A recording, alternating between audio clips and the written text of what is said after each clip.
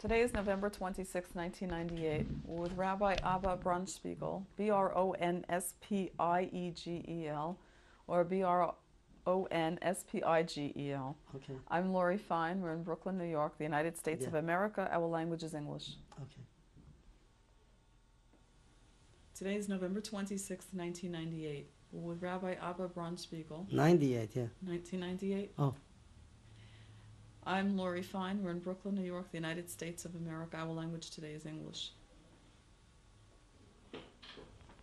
Good afternoon. Could you please tell us your name with the spelling? My name is Abba Bronspiegel. It's spelled A B B A. Bronspiegel is B R O N S P I E G E L. What name was on your birth certificate?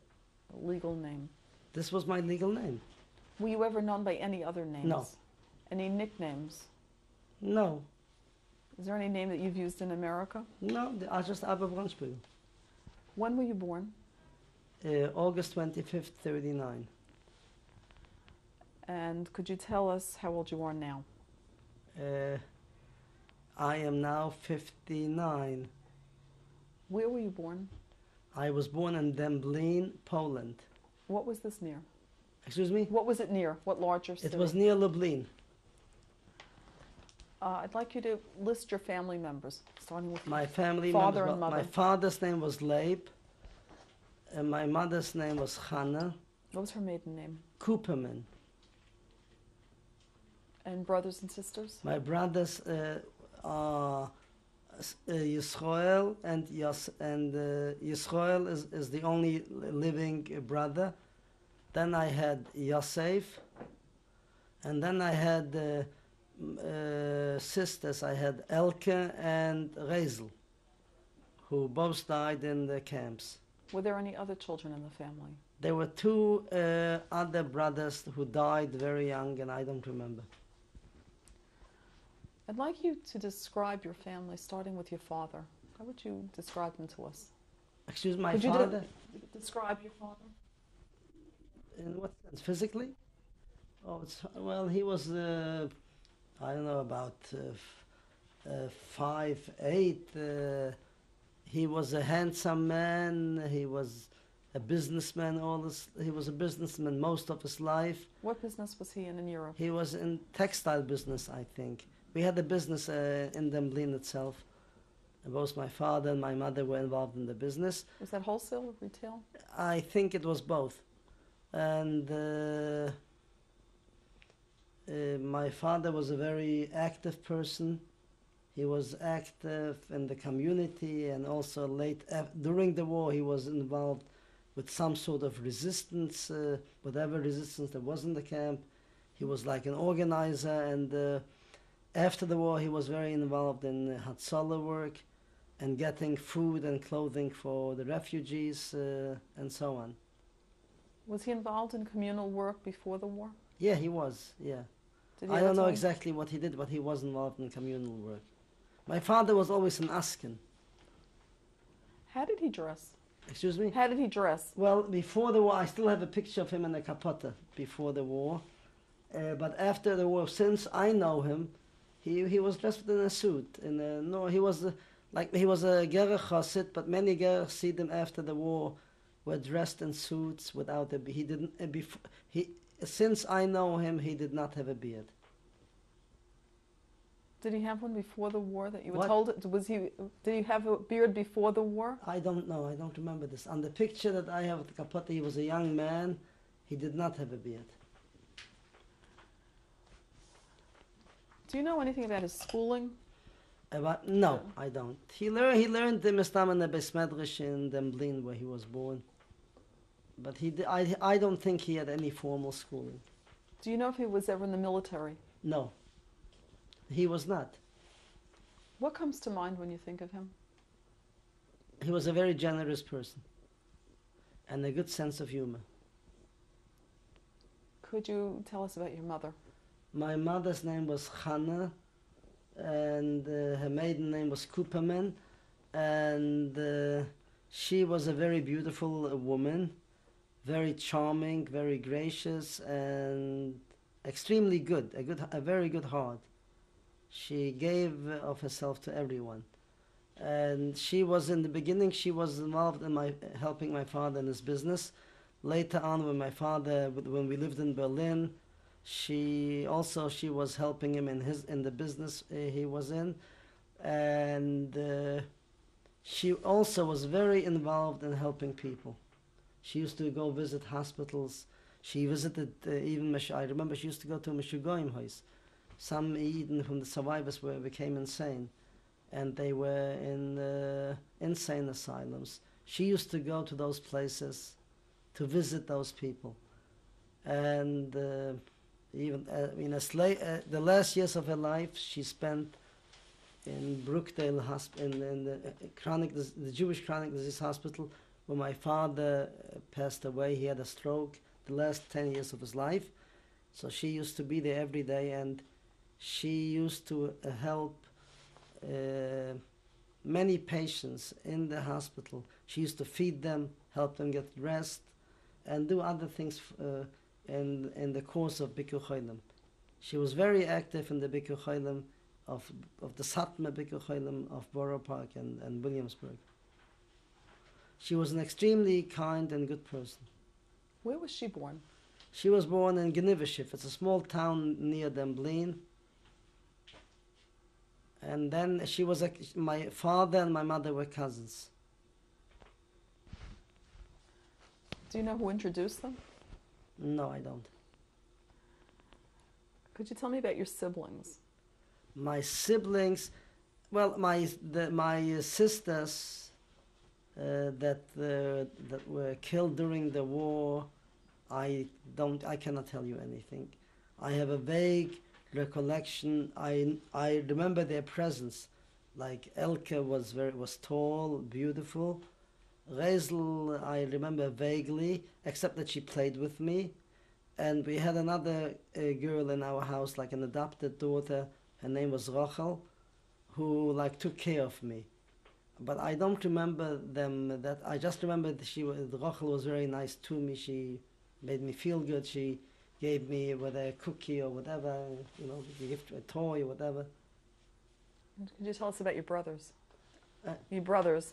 My brothers, so I have Sal and uh, and Yassel. So s- both of them were in the camps together with me until until uh, almost the end. In the end, uh, they we were separated. They they went to Buchenwald, and they, and then eventually to Theresienstadt. They were both liberated in Theresienstadt. They didn't. I don't think they knew that they were in the same camp. Uh, in Theresienstadt, certainly not. In Buchenwald, maybe I don't remember. Uh, but they were liberated in the same camp. What do you want to know about my brothers? Who's now survived? Right now, the only surviving brother is Sal. Yossel also survived, but he died in 1989. Do you remember grandparents? No, I don't remember them. I remember my grandmother vaguely. I am named after my grandfather, whose name was Abba, And whose father was this? my father's father. I don't remember my mother's father. Chaim Yitzchak Kupperman was his name. He lived in Gnivishif. He was a sheikhet. Do you have any recollection of your home? My, uh, I mean, our uh, the home itself vaguely. I do remember the ceiling, but there's nothing to, to, to describe. It was a ceiling. Uh, I do remember. Uh, no, actually, I no, I cannot say I remember the home. No, I cannot say. What's your earliest memory? I can. I actually, I never thought about it. My earliest memory. Oh, what do you mean? Since I was born, I don't really know what to tell. No, I don't know what to tell you. I. Do you remember leaving your house because your family was told to leave? That yes, I remember being uh, leaving the house. Yes, I didn't know at that time what it meant. Why I'm leaving? I knew I. Yes, I remember leaving the house. I, I'll tell you what I do remember. What comes to my mind offhand. It's not the first memory or the second. I know the order. I do remember when the Germans came into uh, to our town. They made the right way. Uh, I don't know. They we still lived in our home initially, and that one day they showed the Germans came into our house, and they wanted my father. Do you remember them coming in? Yeah, yeah, I remember. German with in, in uniform. Do you remember the color of the uniform? No, I don't remember. But uh, they were, I, I right away, I knew that they, they, they are not good ones. I knew they are bad people. What gave you that idea? I, right away, my mother, I, I became scared right away. They had the weapons on themselves and uh, How did they talk? Do you remember the they tone? spoke German. The tone of voice? I don't remember the tone of voice, but uh, that- you what I do remember.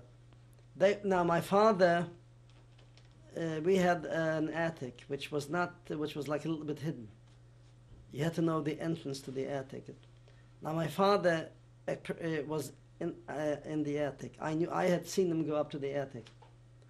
So my mother, when the Germans came, my mother told me quickly, I should not say where my that that my father is in the attic. She kept telling me again and again I should not say this.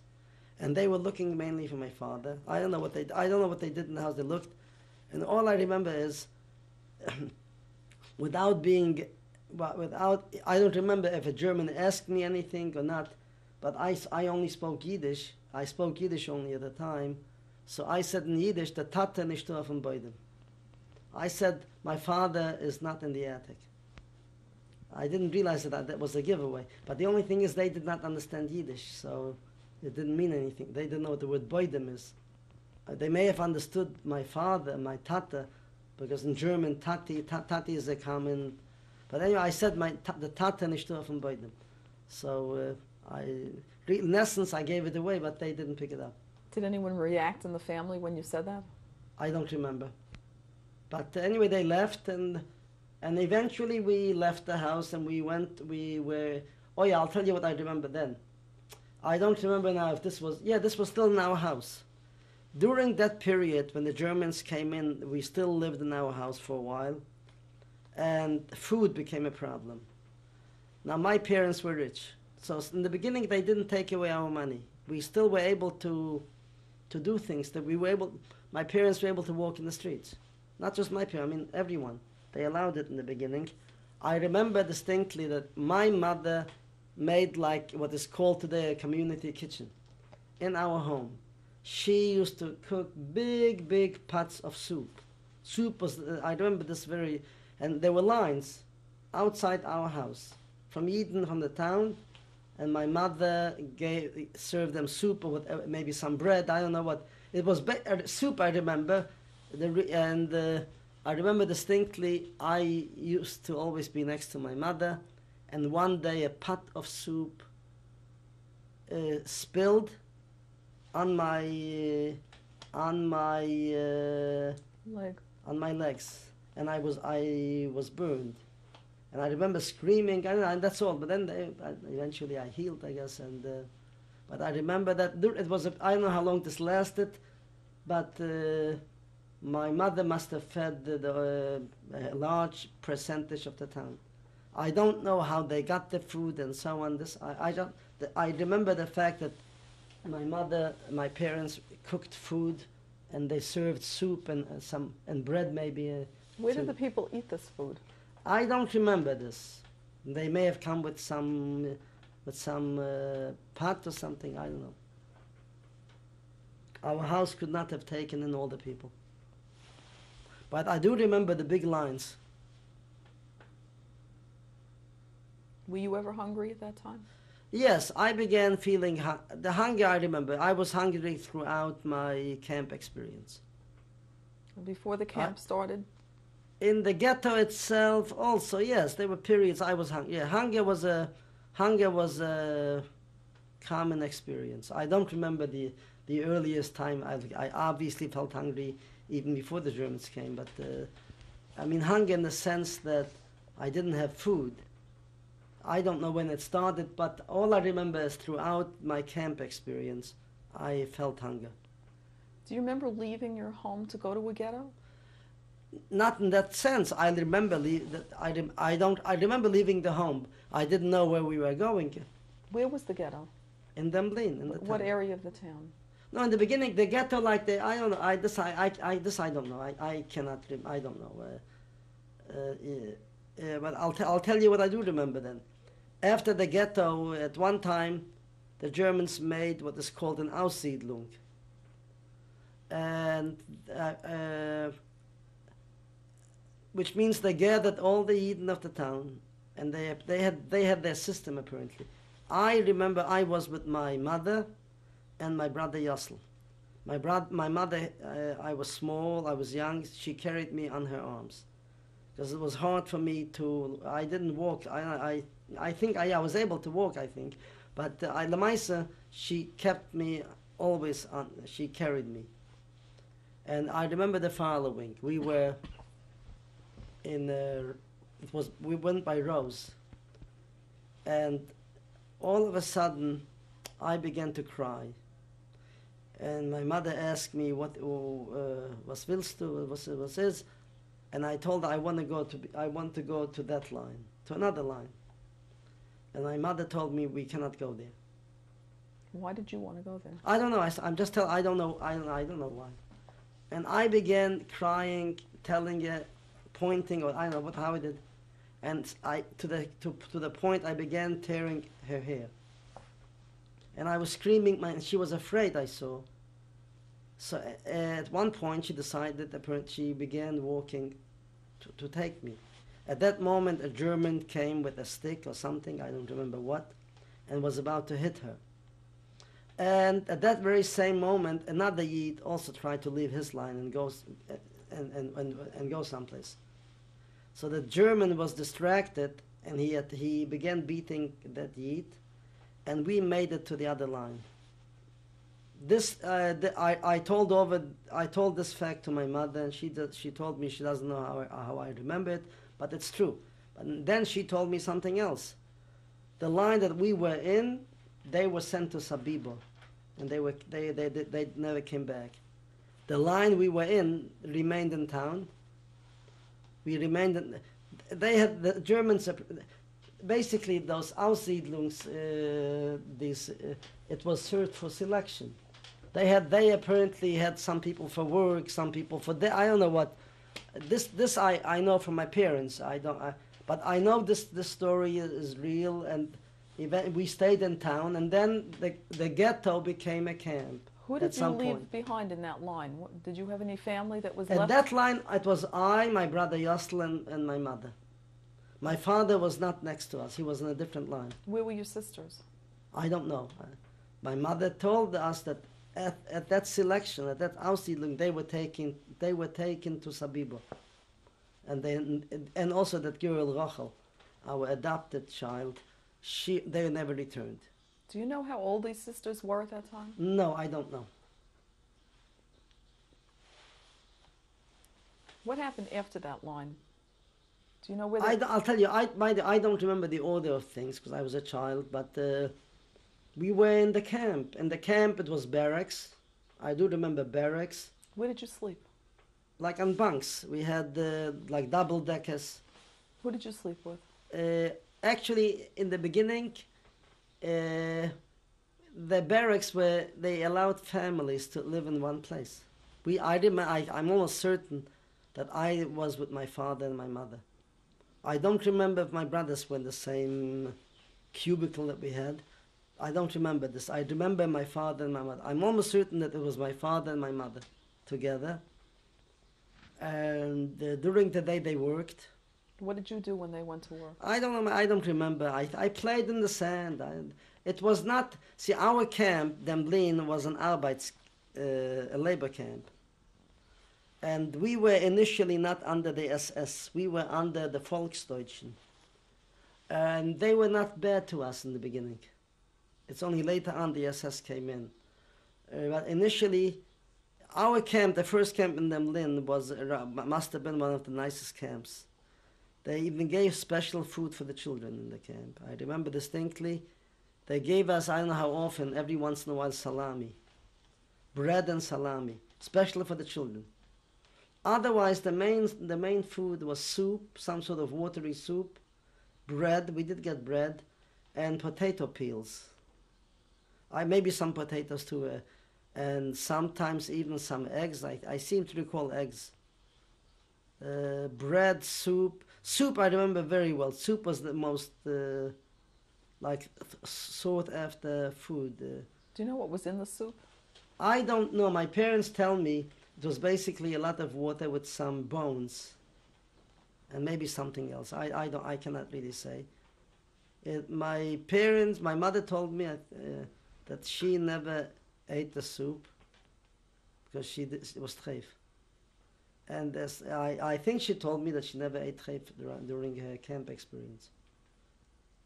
The bread she ate, it's, but, but not the soup.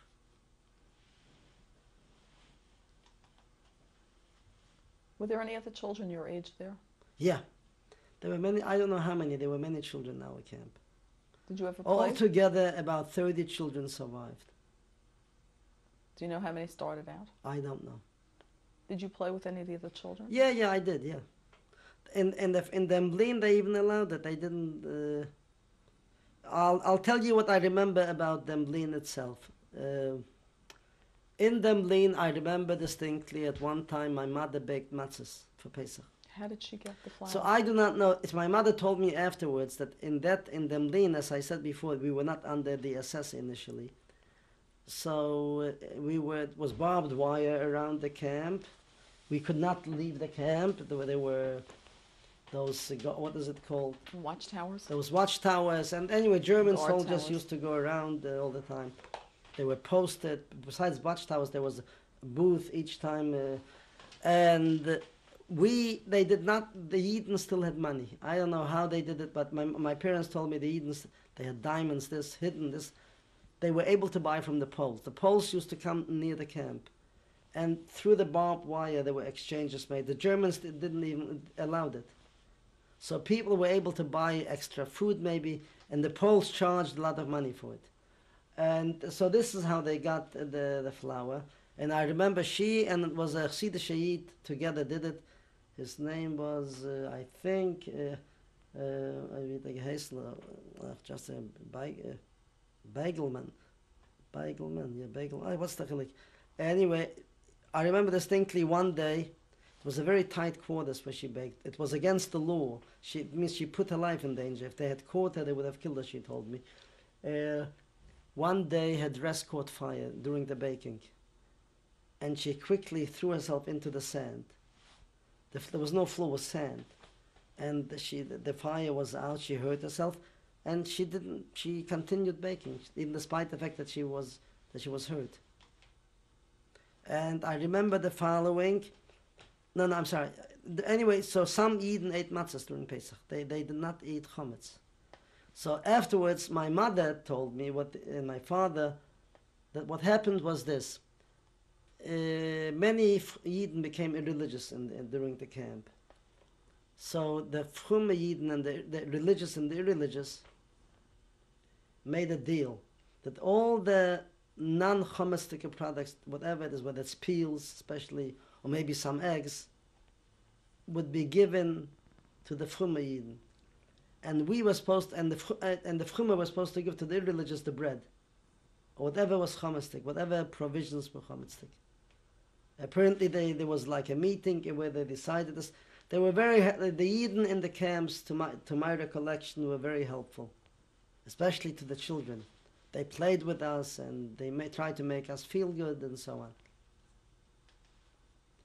Do you Uh, remember if there was a Seder?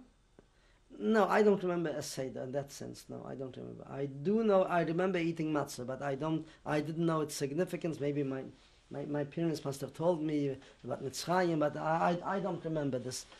I do remember the matzah. Do you remember the shape, the size? It was round matzah. Do you know how large it was? I don't remember that. I, I don't remember. It was round matzah. And I'll was tell there you. any other yontif you remember there? Well, uh, yeah, I'll, t- I'll tell you why. It's not an order. I do remember at one time that we davened at. It was now. Uh, what happened was uh, transport of Eden from Czechoslovakia came, and one day it was. I found myself like what you call today, like in, in davening. I didn't know what it meant then. My parents told me when I told them that I remember this, it was Rosh, Hashanah. The Germans allowed the Yidden to daven on, the, Rosh Hashanah Yom Kippur. Not only did they allow us, I think they, they came to here. So this one of the Czechoslovakian Yidden was a good chazan, and he davened. I remember Hineni He'ani Mimaas. I don't. Uh, I, I, I, I- don't remember how it came about, but I, I remember he davened very beautifully. Do you remember who it was? No, I, that was I don't remember. And uh, otherwise, uh, davening and uh, again, I didn't even know what it means davening. I but uh, I remember distinctly that people were holding some sort of book in their hands and they were reading from it. And uh, anyway, my parents told me they had some sidurim yet, and some maybe some machzorim yet, and they managed to daven, and the whole camp came to to daven. Was there a shofar? I don't remember. I do. There was a shofar. I know. I do know that there was a shofar. When we come, I'll tell you later on when I come to hub. I'll tell you what happened there. But uh, uh, I, I don't remember that. I do not remember the blowing of shofar. Most likely they did have it. And I'll tell you, uh, not in order again, what else I remember that happened in in Demblin. Uh, at one time, what hap- what the, what the Eden were basically doing work for the Germans, all kinds of work, because in in Demblin there was also a airport. Demblin had a small airport, even though it was a small town. Somehow it an airport. The, maybe the Germans even put it up. I don't know. And the, anyway, the Germans used that airport very much, and many Eden worked there.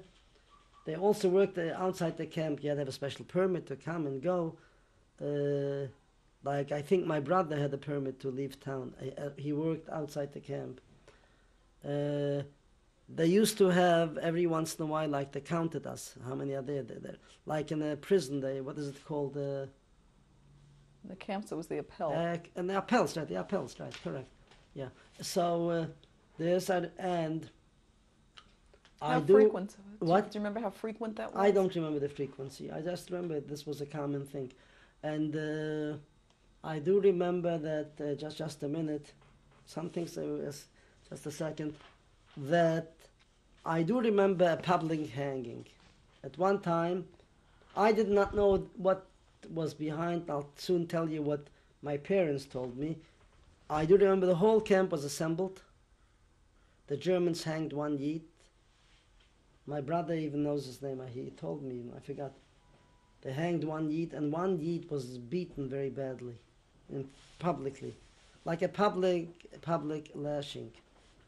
And the Germans, whoever spoke, uh, gave us a warning that if this happens, we are all responsible. That's what's going to happen to all of us. So apparently, what happened was the ten Yidden from the from the camp the leader's name was Label, and now I know his name was Label uh, Lehman, Lehman or Lehman. They made a, a little rebellion against the Germans. They killed a number of Germans. They took away their weapons, and they escaped.